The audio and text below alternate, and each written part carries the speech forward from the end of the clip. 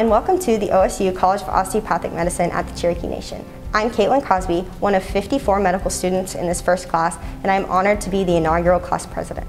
Being a Native American medical student, it means so much to me to be a part of the country's first tribal affiliated medical school located on tribal land here in Tahlequah. Dr. Natasha Bray, our Associate Dean for Academic Affairs, is now going to take us on a virtual tour of our brand new medical school facility. Thank you, Caitlin. The Cherokee Nation campus of Oklahoma State University College of Osteopathic Medicine represents the shared dream of leaders at OSU and the Cherokee Nation. The development of the campus here in Tahlequah allows us to meet our shared healthcare mission of training primary care providers to meet the healthcare needs of our rural, tribal, and underserved communities. Our students are able to engage in a hybrid curriculum in one of two lecture halls that's located on the campus. The lecture halls integrate the latest audio and visual technology that allows them to see lectures whether they're occurring on the Tulsa campus or locally here in Tahlequah. This creates a collaborative learning environment between the two campuses.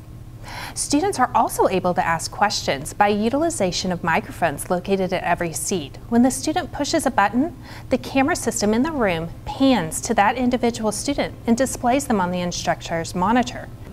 Cadaver dissection occurs in our gross anatomy lab. This lab has 14 dissection tables and is sized adequately to allow students to learn in groups. Adjacent, we have a neuroanatomy lab that allows students to explore and learn about the nervous system. In our simulation center, high fidelity clinical simulation is integrated into the curriculum. This allows students the opportunity to see patients, in this case, our high fidelity mannequins, and work as a member of a multidisciplinary healthcare team.